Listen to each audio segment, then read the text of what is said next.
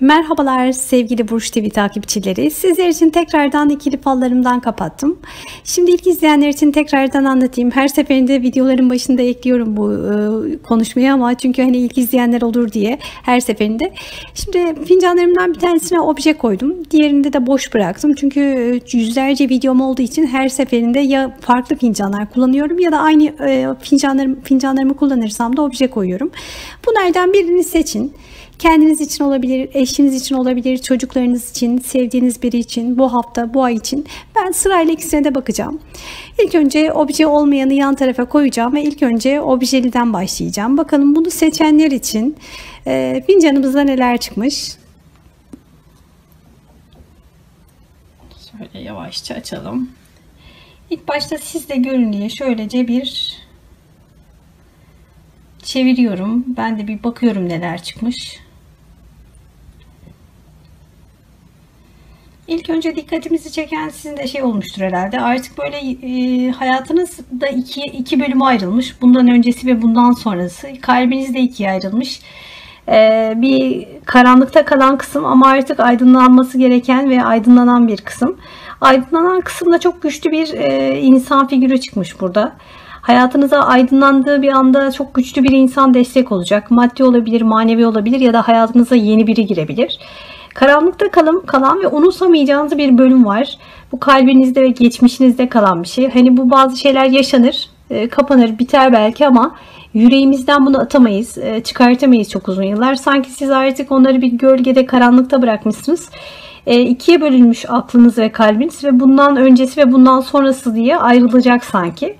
Ama yeni gelen kısımda çok güçlü bir insan size destek olacak ve çok iyi niyetli, çok ferah bir, böyle temiz bir insan bu. Ee, çok güçlü bir e, karakter gibi çıkmış. Bu insan sizin hayatınıza bir şekilde de dokunacak. Maddi destek de olabilir. Bu sizin bir arkadaşınız olabilir. Ailenizden biri ya da hayatınıza yeni biri girecek ve bu insan çok güçlü bir karakterde ve size sahip çıkacak. Çok güzel bir e, sizin için bir hayat yeni başlayacak olabilir. Sanki bu şekilde gördüm bunu ikili. Şimdi hayatınızda çok karmaşık bir dönem yaşamışsınız. Çok hareketli bir dönem yaşamışsınız. Bir ara böyle her şey hani çok dalgalanmış. E, isminde veya soy isminde E harfi olan bir insan çıkmış. Çok bariz bir şekilde şurada bir E harfi hayatınızın ortasında e, bir sürü karmaşanın içerisine kalmışsınız. Herkes çözmek için uğraşmış sanki. Siz de başkaları da hani hiç kimse ne anlam verebilmiş ne de böyle çözebilmiş bu olayları. Çok karışık çıkmış her şey. Ee, bir şeyler için çok dua ettiğiniz zamanlar olmuş. Böyle elinizi açıp çok fazla dua ettiğiniz hani bu şeylerin artık bitmesini istediğiniz dönem olmuş. Ama e, çok kötü olaylar olurken güzel şeyler de olmuş hayatınızda aslında. Bakın böyle çiçekler de açmış arada. Biri var e, siz e, arkanızı dönmüşsünüz ona ama küs ve dargınsınız.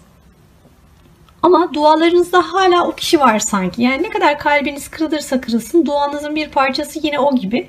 O kişi gelecek hayatınıza sanki. Ee, çok enteresan. Burada kocaman bir insan çıkmış. Bakın elinde böyle sanki bir iki çiçek destesi varmış gibi.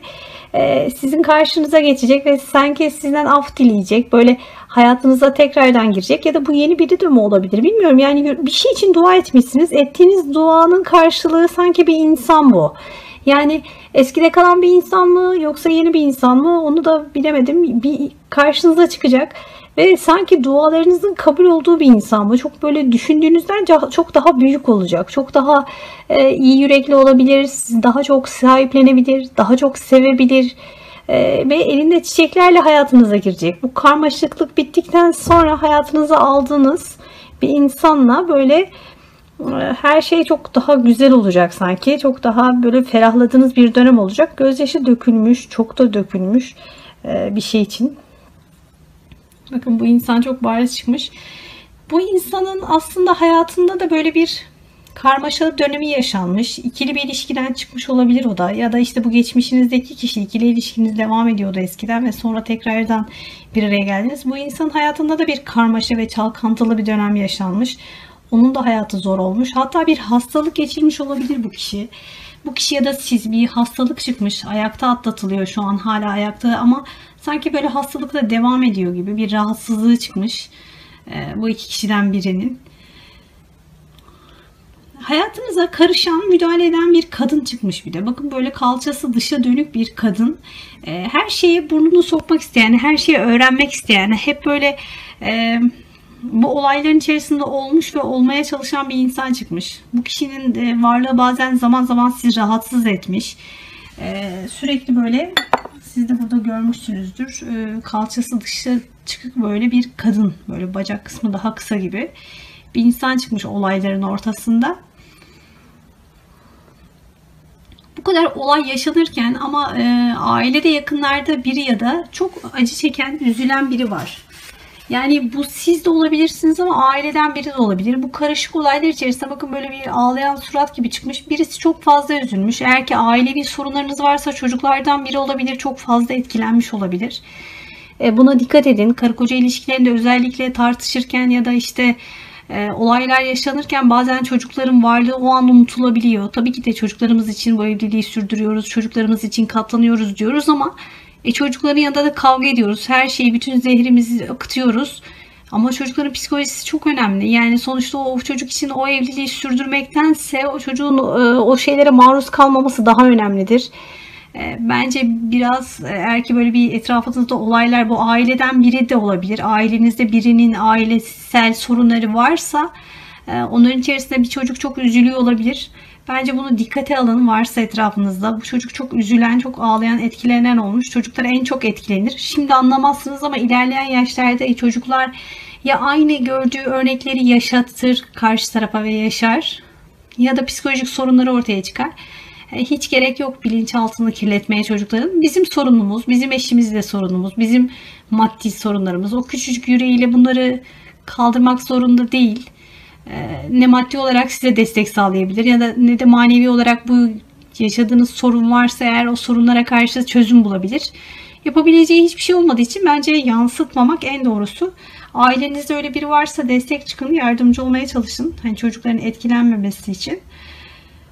İşinizle ilgili böyle bir yol, uzunca bir karmaşık yollar olmuş. Zaman zaman böyle maddi gelirleriniz düşmüş, zaman zaman eliniz rahatlamış ama hep bir karmaşa çıkmış böyle gelirlerinizde. Sanki biraz daha rahatlayacaksınız, biraz daha yoluna girecek bir şeyler. Ama küçük bir sorununuz da var şu an. O da sorunu atlatabilirseniz sanki sonrasında biraz rahatlayacaksınız ama yine böyle maddi olarak küçük böyle dar boğazlar çıkmış. Yani hani böyle sıkıldığından, maddi olarak biraz zorlanılan ara ara dönemler de çıkmış. Ee, ama yani bu kadar karmaşadan sonra bence karmaşayı ve karan bakın zaten burada karanlık alan kısım ve olaylar bu tarafta. Sonrası başka yani kalbiniz ve e, hayatınızın geri kalan kısmı ayrılmış. Karanlıkta kalan kısmında çok fazla e, karmaşa çıkmış olay çıkmış ama sonrası daha ferah, daha temiz. Bu olaylarda etkilenen çocuğa bence dikkat etmek gerekiyor. Bir hastanız varsa ona da dikkat edin. Belki de siz rahatsınız, rahatsızsanız muhakkak e, kontrol edin, kontrole gidin ya da kendinize dikkat edin. E, onun haricinde bir de şurada böyle çok bazı şey de gördüm. Hani şu insan size çek veren bir insan hayatınıza girince e, hayatınızda güzel bir gelişme olabilir, değişebilir hayatınız bu kişiyle birlikte. E, Şurada bakın bir de böyle beyaz melek balığı derler ya onun gibi bir balık çıkmış. Bu kişinin gelmesinden sonra hayatınızda güzel gelişmeler olmaya başlayacak sanki. Böyle ferahlayacaksınız, rahatlayacaksınız. Böyle küçük küçük kısmetiniz açılacak. Bir, bir daha ferah bir dönem. Dediğim gibi karanlık dönem ayrı, e, diğer dönem ayrı gibi olacak. Tabağımıza bir de bakalım. Tabağımızdakiler kurumuş gerçi. Şöyle bir baktığımızda neler görüyoruz? Bakın yakın çevrenize yatan bir insan var. Yatıyor ve kafasını kaldırmış. Bakmaya çalışıyor. Ee, bu bir yatalak biri olabilir. Hasta biri olabilir. Sanki sizin baktığınız ya da bakmakla ilgilenmekle sorumlu olduğunuz bir kişi olabilir. Bu kişi böyle kalkıp iyileşmek için etrafı görmeye çalışıyor ama e, kalkamamış. Sadece kafasını kaldırmış. Bir süre daha rahatsızlık belki de devam edecek. Bu rahatsızlıklarla ilgili bir şey söylemek istemiyorum ama küçük bir rahatsızlık geçirebilir ya da yakınınızdaki bir insan. Onunla da ilgilenebilirsiniz ama sonrası temiz olacak. Çünkü kafası yukarıda kalkıyor. Yani bir şekilde ayağa kalkacak bu kişi sonrasında. Ee, bakın burada çok e, ayakta duran bir e, insan var. Ee, şöyle bir yük var. Yük hani böyle yükü önden bebek arabası iter gibi olur ya. E, büyük bir mücadele veriyorsunuz hayatta. Büyük bir şey için böyle hani yükünüzü almış yine de yol alacaksınız. Her şeye rağmen, her türlü sorumluluğa rağmen. Yani bu şey çok ağır bile gelse size yaşadıklarınız ya da sorumluluklarınız. Her şeye rağmen ayakta dimdik durup ilerlemeye devam edeceksiniz. Bence güzel, ferah bir dönem olacak sizin için. Ee, bir de uzakta kalmış bir insan var. Bu kişinin aklı sizde hala.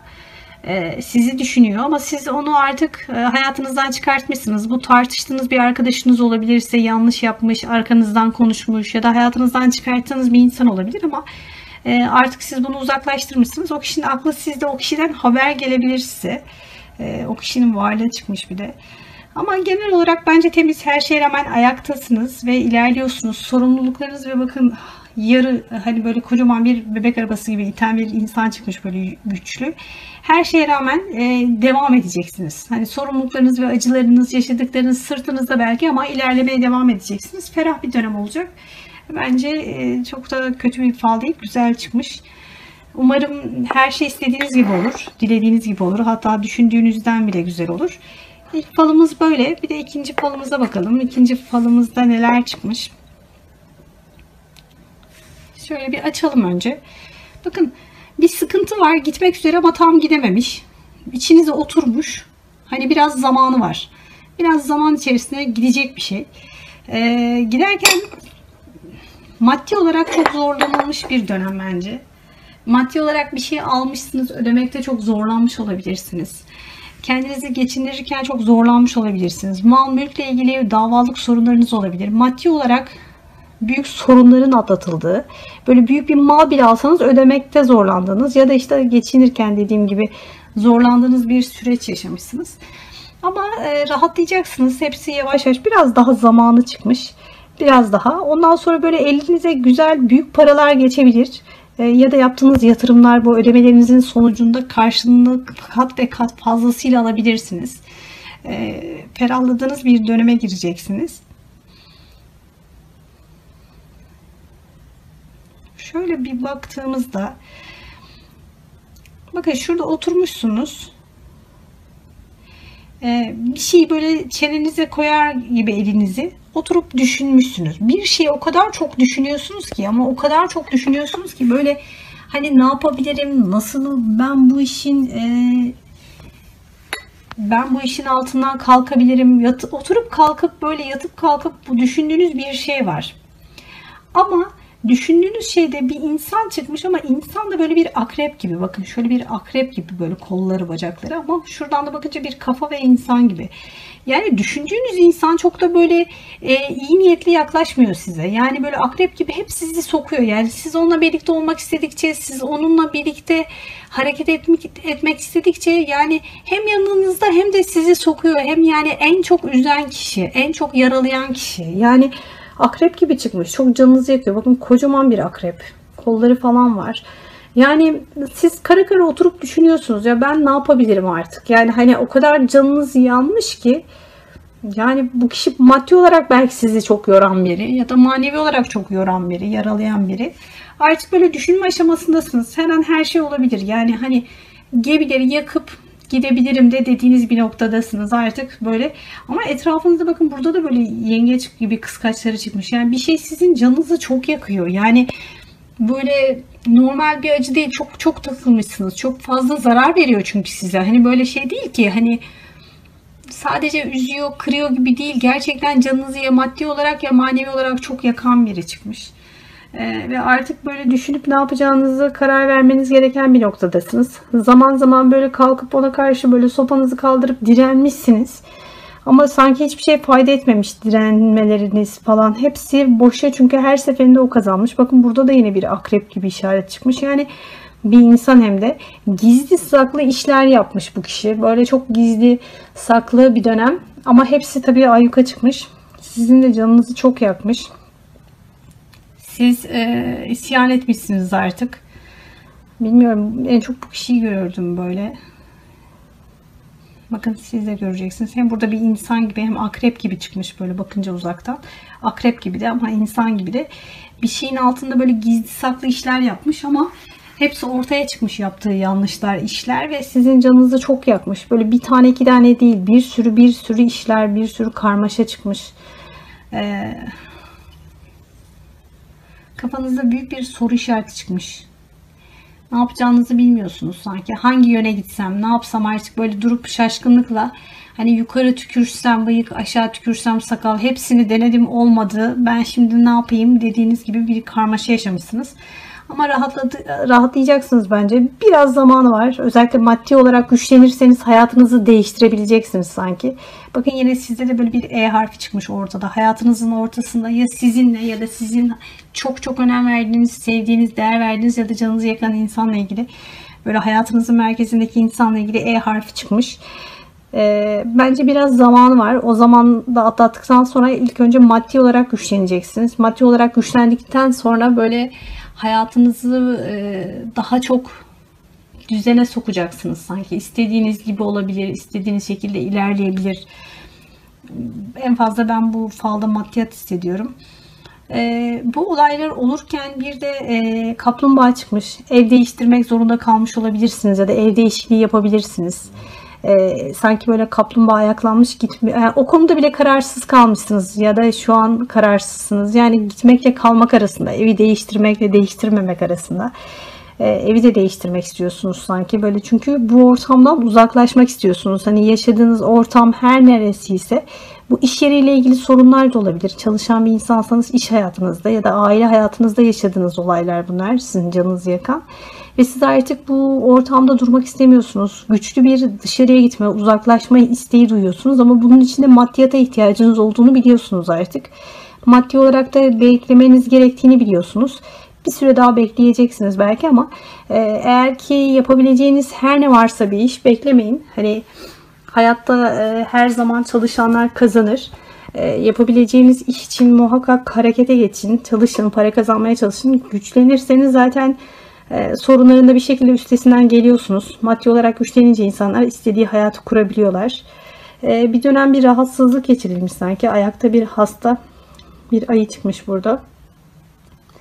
Bu kadar şeyle uğraşırken bir rahatsızlığınız çıkmış olabilir. Bir hastalıkla da uğraşmışsınız. Hani sanki sıkıntıdan, stresten, bu canınızı yakan olaylardan dolayı psikolojik olarak ya da böyle artık bedeninize yansıdığı böyle bir rahatsızlık yaşamış olabilirsiniz. Ama hepsine rağmen dediğim gibi biraz zamanı var. Maddi olarak güçlendikten sonra hayatınızı böyle yavaş yavaş yoluna sokacaksınız. Ee, uzaklarda kalan, daha geçmişinizde, eskide kalan bir insanı unutamıyorsunuz. Onu düşünüyorsunuz. Bakın o insan başka bir hayat kurmuş, başka bir hayat yaşıyor olabilir. İçinizde bir keşke kalmış olabilir. Keşke o olsaydı, keşke onunla beraber olsaydım, keşke yanımda olsaydı. Bu tabi ikili bir ilişki olarak eski bir sevgiliniz olabilir ama ya da ailenizden biri uzaklaşmış bir yere gitmiş. Keşke o olsaydı. Hani keşke babam olsaydı, abim olsaydı, kuzenim yanımda olsaydı, annem yanımda olsaydı ve o olsaydı bunları yaşamazdım dediğiniz bir insan bu. Bu başka bir yerde. Bilmiyorum şu an bambaşka bir yerde ama o insan olsaydı sanki ben bu kadar şey yaşamazdım. Daha güçlü olurum, olurdum dediğiniz bir insan çıkmış. Ee, maalesef ondan uzakta olmanın özlemi var sanki için, içinizde. Bir de tabağa bakalım. Tabağımızda neler çıkmış? Bakın sıkıntılardan sonra maddi olarak güçleneceksiniz bence. Ama biraz zamanı var.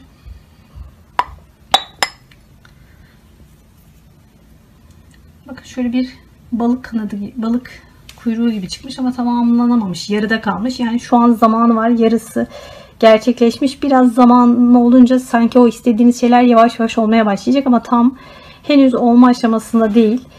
Bakın burada da bir insan var. Bu siz olabilirsiniz. Artık böyle beliniz bükülmüş, e, yorulmuşsunuz. Ama yine de ayağa kalkıp yavaş yavaş yol alıyorsunuz. Biraz yavaş ama zamanla değişecek bir hayat çıkmış. Burada yine böyle salyangoz gibi e, bir kaplumbağa gibi bir şey çıkmış. Yani evle ilgili bir gelişmeniz olabilir. Biraz zaman var ama onunla da ev değişikliği yapabilirsiniz. Ee, bir tane kalp çıkmış burada ama yüreğiniz kararmış böyle bir şey için üzülmüş bir e, kalp çıkmış. Ama genel olarak sonrası ferah, temiz ve kalkıp bir yol alacaksınız. Ağaç çıkmış gittiğiniz yolda. Maddi olarak yani yükseldiğiniz bir noktada feraha kavuştuğunuz anda sıkıntılarınız bir nebze de olsa daha rahatlayacak. Daha ferahlayacaksınız. İstediğiniz şeyler ondan sonra yavaş yavaş gelmeye başlayacak. Bence kendinize odaklanın bu dönem. E, kendime nasıl iyi gelebilirim, kendi gelirlerimi nasıl artırabilirim, sorunlardan çok e, hayata odaklanmaya çalışın. Belki bu size daha iyi gelecek. Çünkü sorunları düşündükçe kafamızda büyüyor ve bizi üzüyor ve psikolojik olarak aşağıya çekiyor. Psikolojik olarak aşağıya çektiğinde de zaten günlük hiçbir şeyimizi yapamıyoruz. Bence siz e, ana ve geleceğe odaklanın. Yapabileceklerinize odaklanın. O zaman hem yaparken kafanız dağılır. Bir şeyler yaparken, üretirken, para kazanmaya çalışırken. Sonra da para kazanınca zaten bir şekilde sonrası daha da güçlü oluyor. Sonrası sizin için biraz daha iyi olacak gibi. En azından bu falda böyle hissettim veya böyle düşünün. Umarım hayatınızda istediğiniz her şey çok güzel olur. Her şey istediğinizden de güzel olur. Sürprizlerle dolu bir hayatınız olur. Her şey gönlünüzce olsun. Özellikle sağlıkla kalın. Hoşçakalın.